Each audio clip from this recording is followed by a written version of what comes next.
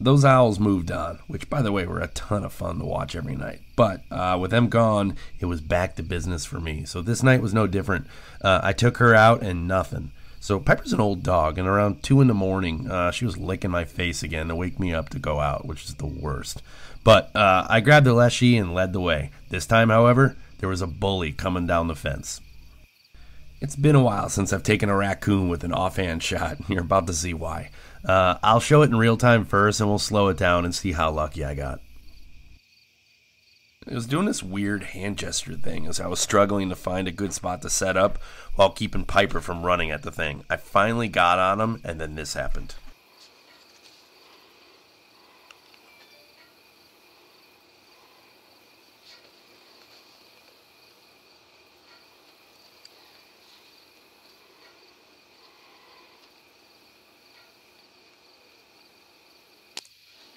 I drilled the thing and it sounded solid, but it took off like a bat out of hell. So let's watch it again uh, from one of the security cameras and then I'll slow it down. And what you can see is I pulled it really bad. Uh, and it was, but I think it was a full frontal shot. So I ran back inside and grabbed a headlamp and threw on some pants.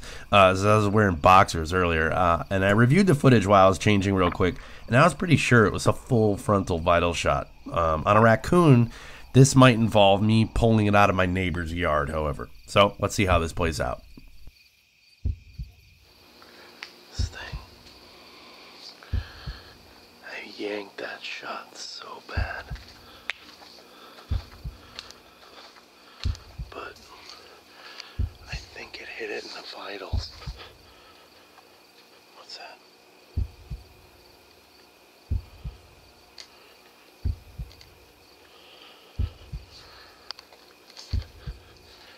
Got my white light on.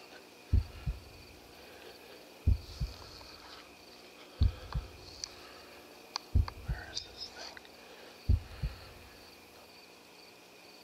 I thought I heard it hit the fence.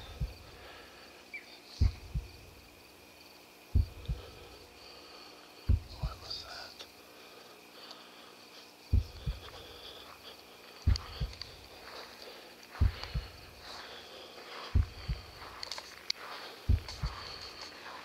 What is that?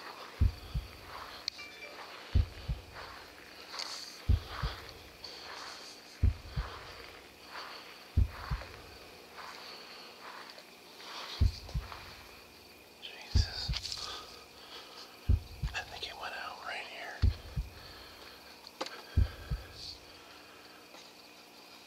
Oh, there it is.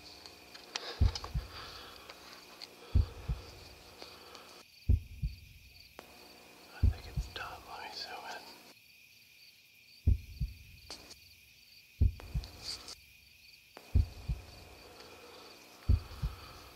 Oh, that totally is. That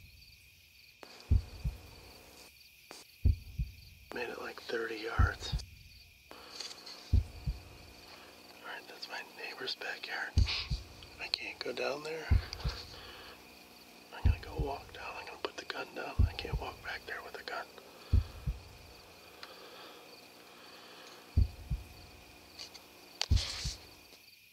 So I put the gun down and snuck down to go grab it. One bully down. Who knows how many to go.